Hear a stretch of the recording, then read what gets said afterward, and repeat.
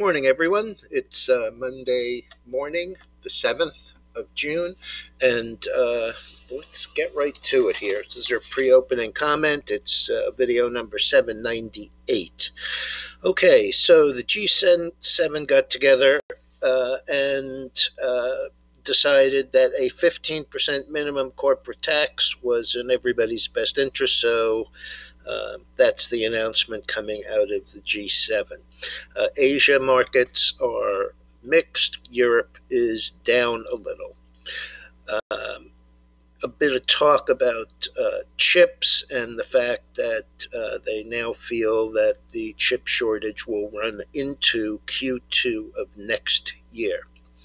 Uh, Blackstone and Carlyle together deciding to buy Medline Medical uh, medical uh, products company 30 billion in cash.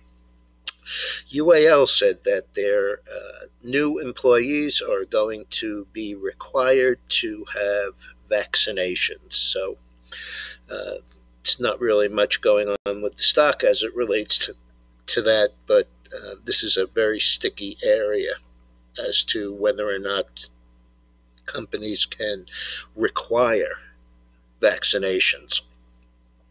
Lordstown, symbol RIDE, late filing, received a delinquency notice from uh, the NASDAQ. Uh, you know, it doesn't reflect well on them, but it's clearly something that uh, can be overcome. So we'll see what they have to say about that. Uh, there were uh, two deals in the um, infrastructure game this morning. Uh, U.S. Cement, USCR, USCR is being bought by Vulcan Materials for $74 in cash. Uh, the stock is 72.97 up uh, 15.83 and that's a 27.7% move higher.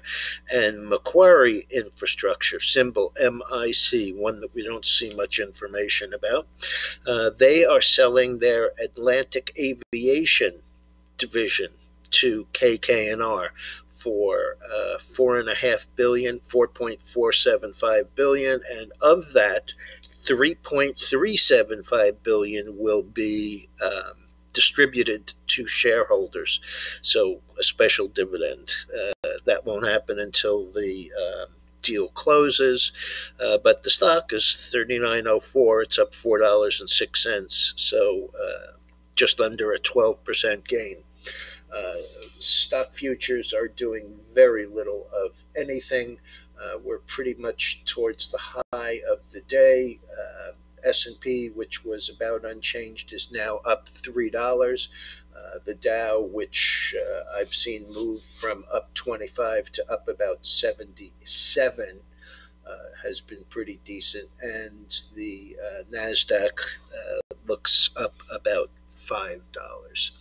So, uh, also Janet Yellen made a comment about higher rates uh, to combat inflation, which uh, she sees as approaching 3% for the year. The chart on the screen are the bonds, which uh, were rallying before that and have since come back down. Uh, this is the highest level uh, in um, about three weeks. Uh, but again, you know, it bounced up towards uh, 158. The high was actually 157.25 30 seconds, so 157 and about three quarters. Uh, currently trading 157.06 and down 9, 10, uh, 9 30 seconds, uh, or about a third of a dollar. Oil is down 20 cents. Uh, gas is lower by about four. That takes it right back into support. Uh, the gold, which reversed strongly on Friday, down about $3, giving back a little. Uh, silver down 16 cents, giving back a little more. Uh, and that's about it. Bitcoin pretty much unchanged, down $115 on uh, now down just under $100. uh, on 37,000, so no big move there. Uh, and uh, the meme stocks are doing pretty much nothing up a dollar, down a dollar. All right, everyone, I'll be back tonight, and I really would appreciate if you hit that subscribe button to support us. Have a good day.